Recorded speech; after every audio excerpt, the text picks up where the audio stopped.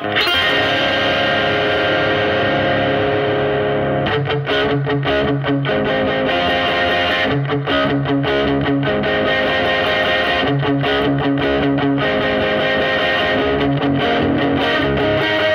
and welcome to For the Quantum Grammar Shoot podcast. Only podcast of its kind on the interwebs that I'm aware of. I'm your host, colon Jason F. Matthew colon Glass. You can call me Jason. Uh, in this podcast, I'm going to look at uh, various topics as viewed through the lens of correct sentence structure, communication, parse, syntax, grammar, the wonderful grammar technology brought to the public in 1988 by the late colon David Wynn colon Miller. Full stop. I've gotten pretty good at saying that. I'm eating lunch right now, so I apologize for any lip smackings and cracklings. I wanted to talk about kindness. Now, way back in the day, a few years ago, when um,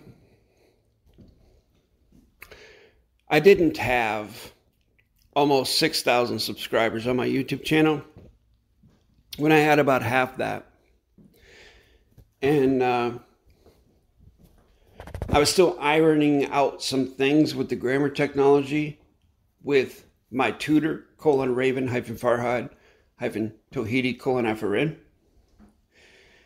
And we noticed that Russell J. Gould, colon Russell hyphen J colon Gould, was using, instead of rule one, rule equal, he started using rule one, rule same. Now, to me, same is lame. Sounds catchy, doesn't it? We were wondering, you know, because equal is no contract, because it is a vowel in front of a consonant at the beginning of a word. And Russell obviously recognized that because he changed it to rule one, rule same at the time we wanted to come up with something different. And so for a while, we came up with rule one, rule kindness. And that's what I want to talk about today kindness. If you study, as I have, The Fourth Way by George Gurdjieff, and the best way to do that would be to, or the best starting point to do that would be the book In Search of the Miraculous by P.D. Ouspensky. O U S, Ouspensky. Fragments of an Unknown Teaching, I think is the subtitle. Start there. That, actually, that's the magnum opus of the fourth way. There's definitely other books you can get to to get further closure and more detailed closure, such as the three books that Gurdjieff wrote himself. He himself wrote, the first book being Beelzebub's Tales to his grandson, the second one being Meetings with Remarkable Men, and the third one being Life is Only Real When I Am. But I highly recommend reading Ouspensky's book first, In Search of the Miraculous. So, in these teachings, Gurdjieff talks about the word kindness, and he was a big etymology nut, especially in Beelzebub's tales to his grandson. The words that Gurdjieff chose to use in that book spanned across all languages. Like he really did his homework. He really used the etymology dictionaries that he had at the at the time that he had as at his disposal and he would use words that were had common roots across many different languages and kind was one that he singled out as like his favorite word one of his favorite words because it meant family basically the the concept of family being close to someone kin kindred, kind, kindness. And I'd like to bring that type of energy, that type of spirit to this podcast today.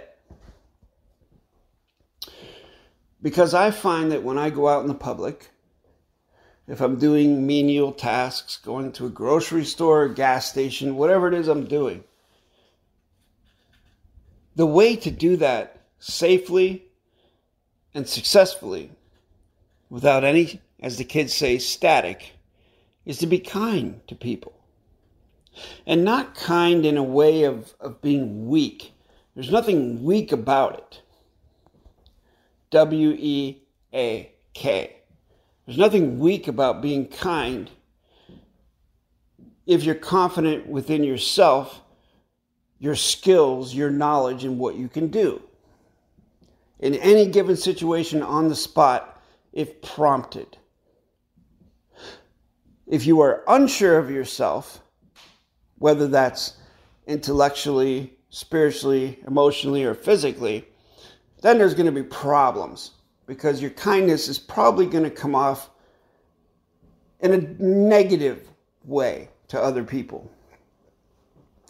But if you're pretty sure of yourself and everything you're doing, and you're making eye contact with other human beings, that's going to come off.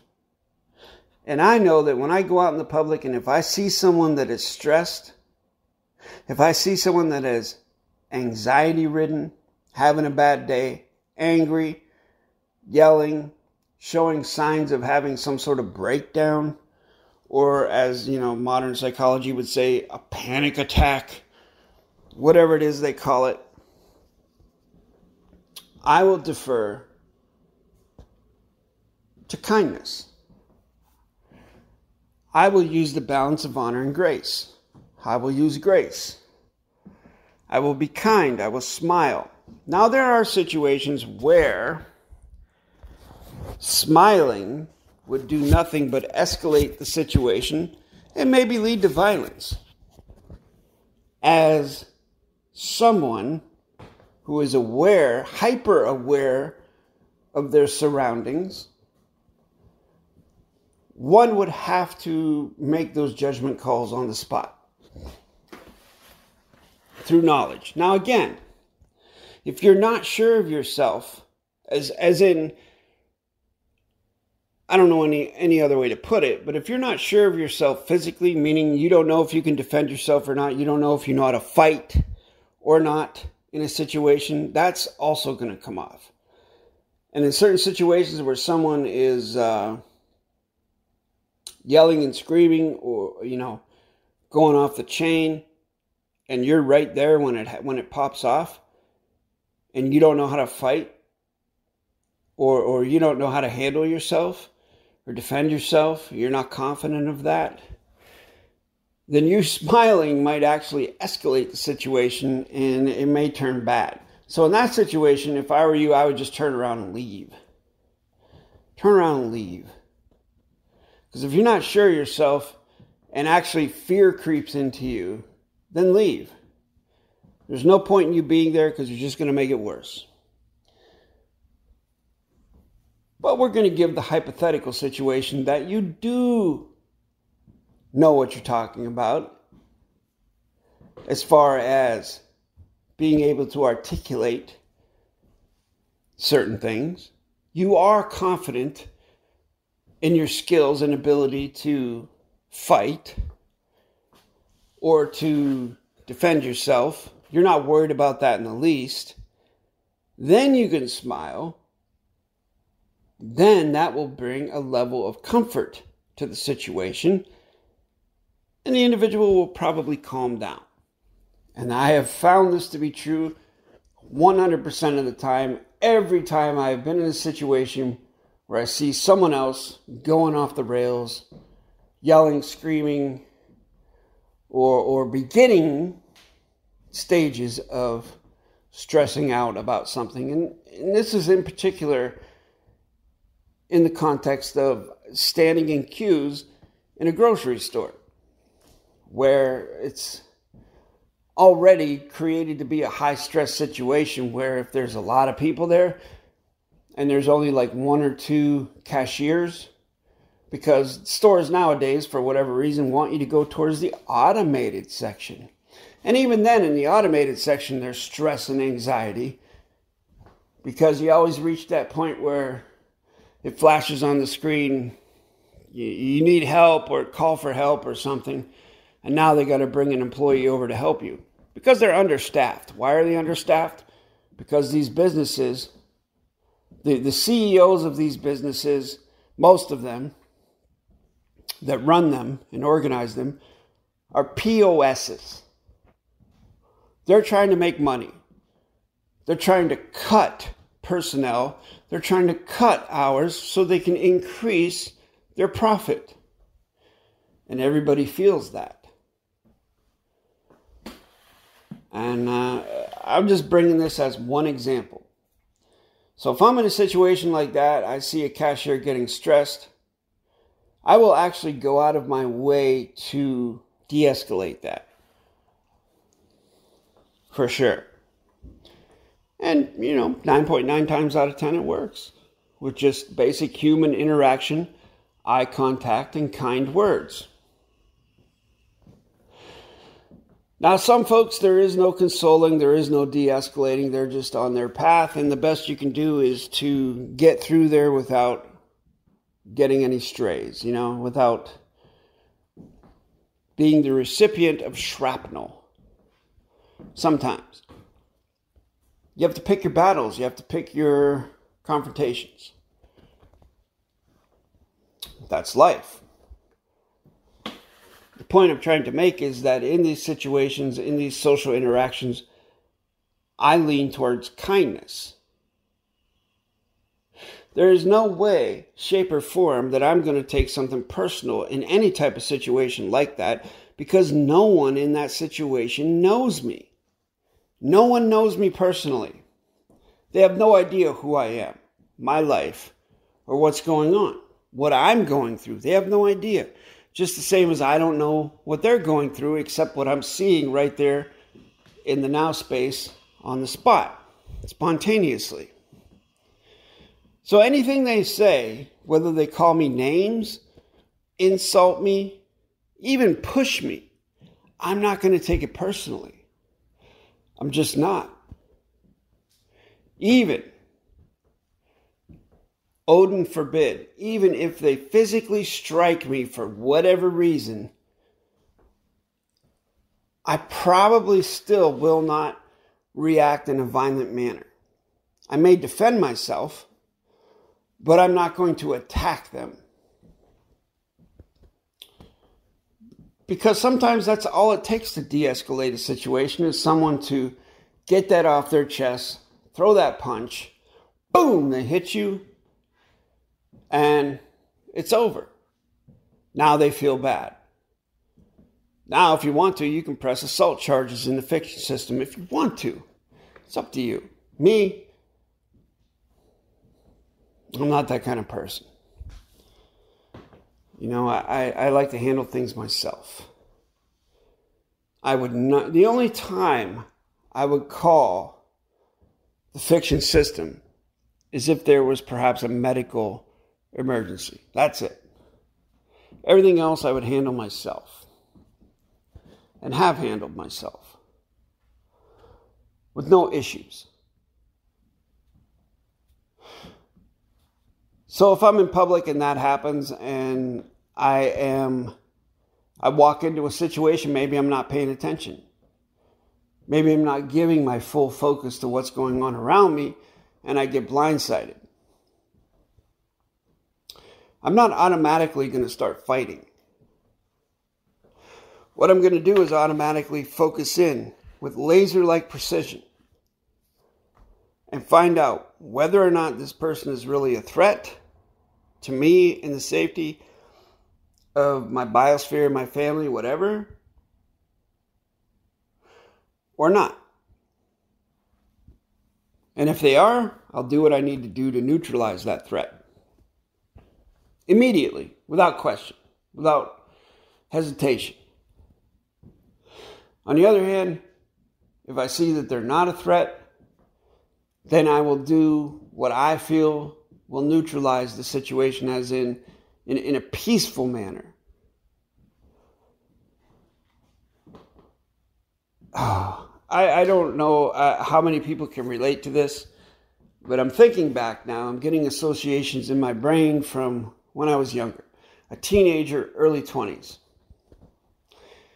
And uh, as many of you who are regular viewers of this channel, you know that I am a martial arts aficionado. I started out with uh, Shotokan Karate for a couple years, and then I joined a boxing gym with uh, some Puerto Ricans, got my ass kicked, and learned real quick what was real about fighting and what was not. And, uh, and then from there went on to wrestling and jiu-jitsu and Muay Thai, Krav Maga, etc., etc. To put that in a simplified form, I did like to fight when I was younger. I did like it on the street. I like to test myself. So I would. Now, I would not purposely bully anyone. What I would do is I would put myself in situations where I would see someone bullying someone else and then insert myself in that situation because I thought I was doing the quote unquote right thing by protecting someone who was weaker. And I would always go for the biggest guy in the bar. Always. Because the biggest guy in the bar usually thought that they had dominance over everything. So I might do something stupid like walk past them and purposely use my elbow and bump into them and make them spill the beer, their beer on themselves. And then see what they would do.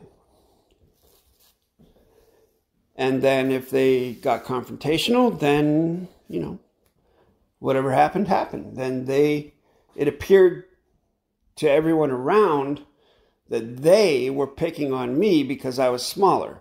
And, you know, I'm, I don't know if you would consider me to be a small individual. I'm six foot. I hover around 200 pounds. Maybe average. I'm talking about guys that are over six foot and outweigh me by 20, 30 pounds.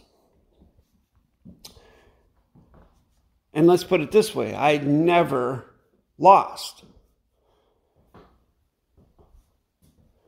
I may have gotten a black eye or cuts and scrapes, but I didn't lose because I was interested in finding out, just like correct sentence structure, I was interested in finding out what actually worked and what didn't work as far as martial arts goes. And I found that in street fighting situations, boxing and Muay Thai were the most important things. Most, I use those techniques from those arts the most. And then when we got in close and started grappling, it was more, even, you know, then it was Muay Thai and wrestling. Although my knowledge of wrestling is very limited, I learned enough to be able to stop takedowns and learned enough to know how to deal with folks who didn't know anything about wrestling. If I got into a confrontation with a wrestler, then I knew I was going to lose and I had to find some other way to deal with it. I had to find some other way. I will bet the house that a wrestler and a boxer meeting in an alleyway, both of them the same age, same height, same weight, same years of training experience. For example, they both have a year of boxing.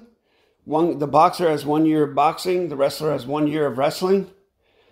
I guarantee you the wrestler wins.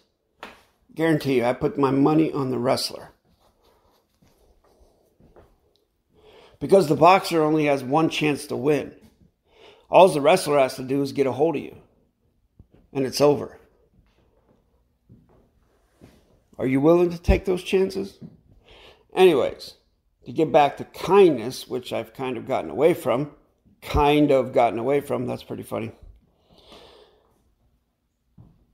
Those things don't happen now. I have not been in a physical confrontation in a lot of years.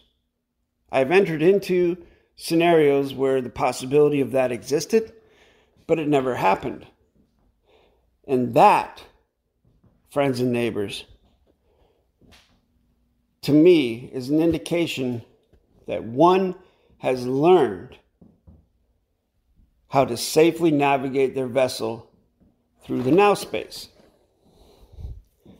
When you don't have to worry about things like that. Because you are looking at what they would call situational awareness. And this goes for correct sentence structure, it goes for anything. Know what it is you're walking into.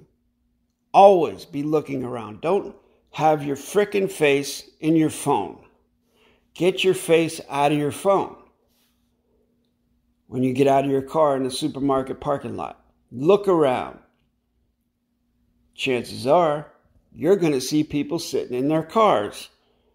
Some of them are significant others waiting for their spouses to come back from the store. Maybe there are some other folks out there sitting in their cars with more nefarious intentions, and it's up to you to be aware of that and be able to calculate that. Because the most important thing is when you come back out of that store and you're pushing a cart or holding bags, now all of a sudden your hands are full, especially if it's dark. I don't need to go through all this stuff. I'm not a I'm not a quote unquote self defense uh, teacher. I'm not. This is a grammar channel. But this is the same thing with the grammar, folks. Same thing. If you don't know what it is you're doing, if you don't have confidence in what you're saying, if you don't have closure for yourself on what it is you're conveying, then you're probably going to get beat up and robbed. You're going to get walked over, stomped on, and put through the mill. And that's it. Wow, I kind of got off track. See, this is what always happens, folks. I, I, started out wanting to talk about kindness and how it doesn't take much to be kind to people. And then I immediately go into teaching psychology of correct sentence structure. It's pretty funny. That's okay. I'll leave it on though, because I don't think there's anything too dangerous in this podcast. Bottom line, know what it is you're doing. Know what it is you're doing because once you know and you've actually gotten in there and done it, whether that's for real, for real, you've actually gone into a foreign vessel in dry dock or you've built up a repertoire of cases, a portfolio of cases you've won using correct sentence structure, or you've taken classes with me, gotten closure on the grammar, and then I've put you through the quote unquote sparring sessions where I put you into hypothetical situations where you have to use this stuff. And uh, I put you on the spot. And they're actually pretty brutal, folks. But you have to learn the grammar first. I have to be able to certify that you have at least a rudimentary closure in the grammar. You can teach it, you can create a correct sentence structure on the spot, you can syntax on the spot and explain and give closure as to the syntax values you're banking. If you can do that, then I will be more than happy to put you through some quote unquote sparring sessions. But you have to have, you, you can't be the type of individual where I ask you a question and then there's 30 seconds of silence. That's not going to work in the quote unquote real world. You have to be able to think on your feet. And the best example I can give of that would be watch any David Wynn Miller video where he's being asked questions. It does not matter what the question is, he starts talking after the question is asked. Now, if you listen very carefully, you will be able to see which questions he actually answered and which ones he didn't. But even if he doesn't answer or give an answer to a question, he still talks. And to the untrained ear, gives the impression that he gave an answer when he really didn't. But it doesn't matter because you have to be able to talk with confidence and have closure on what it is you're conveying and have closure on your position that you claim as a live life claimant. If you have a correct live life claim with three or more live life claim witnesses,